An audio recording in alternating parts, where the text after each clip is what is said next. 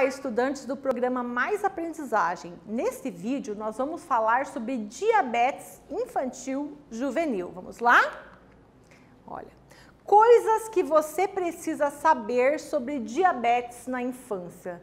Você sabia que tem crianças que são portadoras de diabetes? Pois é. Professora, mas como se fala corretamente? Eu ouço por aí a diabetes, o diabetes, a diabetes, a, a, é, o, diabetes.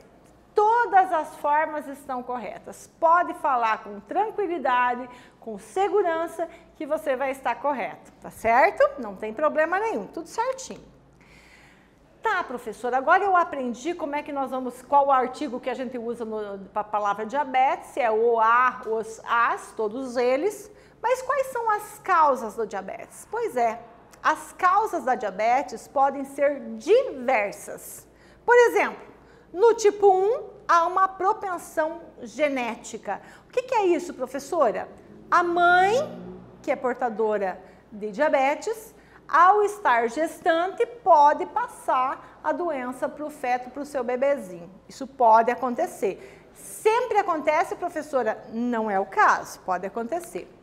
Outra causa, professora, tipo 1, a mãe pode passar. E a outra? Os maiores causadores das diabetes são os maus hábitos e nenhuma prática de exercício físico. Ou seja, você não faz exercício físico, não participa das aulas de educação física, tem maus hábitos alimentares, né? ingere muito sódio, ingere muito açúcar, ingere muita gordura, grandes problemas. Isso é a causa, né? a grande causa do diabetes na, em crianças e adolescentes, né? O diabetes, pessoal, se caracteriza pela deficiência de produção e ou ação da insulina. Como assim, professora? Ó, nós temos aqui o pâncreas, que é esse amarelinho aqui. O pâncreas, ele é responsável por produzir insulina.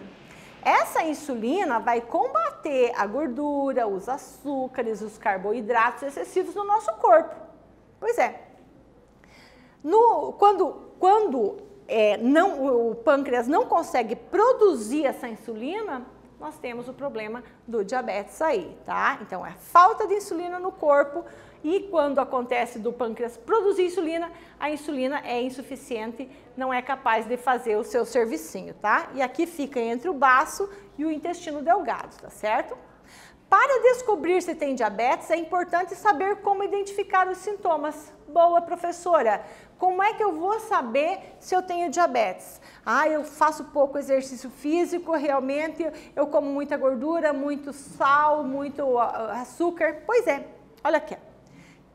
Olha o pensamento da pessoa, do indivíduo. Frango assado, pão, sorvete, só coisa pesada. Olha o que, que ele tem: cansaço fácil. Começa a fazer qualquer coisa, cansa muita sede, aumento do apetite, emagrecimento e urina aumentada. É claro, você né, precisa tomar água e você vai fazer xixi. Então, são sintomas, muito xixi, são sintomas do, do diabetes. E o tratamento, professora, pode ser ou não efetuado através da aplicação de insulina. O pâncreas não possui, mas você pode ingerir insulina sim, tá?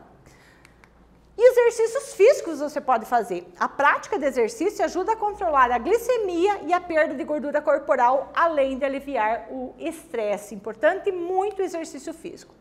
Contagem de carboidratos, ou seja, muito carboidrato, muita insulina. Menos carboidrato, menos insulina, tá certo? E as tecnologias têm ajudado. Temos glicosímetros, temos bomba de infusão, para aplicar a insulina quando tiver a glicose estiver muito alta. Temos tudo isso, a tecnologia está nos ajudando. A falta, né, o problema do diabetes pode causar várias doenças, entre elas pé diabético, que são aqueles pés com feridas abertas e que não fecham. Muito sério isso. Pessoal, importantíssimo.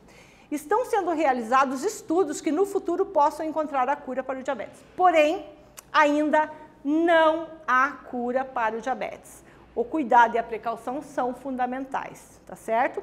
Nesse vídeo, nós falamos sobre diabetes infantil e juvenil. Espero que vocês tenham gostado.